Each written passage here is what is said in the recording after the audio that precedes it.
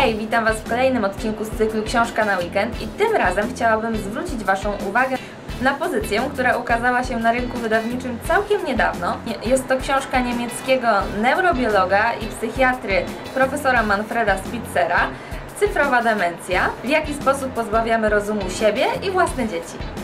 Więc jak widzicie, ten odcinek e, mojego cyklu Książka na weekend będzie nietypowy, chociażby ze względu na to, że będę mówiła Wam o książce popularno-naukowej. Ale myślę, że jak najbardziej godnej uwagi. Może zacznijmy od tego, co kryje się pod pojęciem cyfrowa demencja.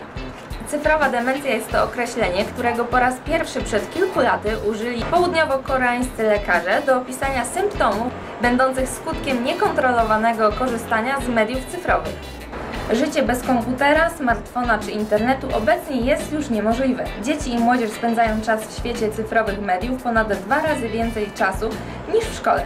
Skutkami są zakłócenia rozwoju mowy, problemy z nauką i koncentracją, stres, depresja i narastająca gotowość do stosowania przemocy fizycznej. Renomowany niemiecki psychiatra i neurobiolog Manfred Spitzer daje w swojej książce szczegółowy wgląd w istotę i przyczyny tego zjawiska. Naukowiec z całą stanowczością wzywa rodziców do ograniczenia czasu poświęcanego przez dzieci na cyfrową rozrywkę, aby uchronić je przed popadnięciem w cyfrową demencję.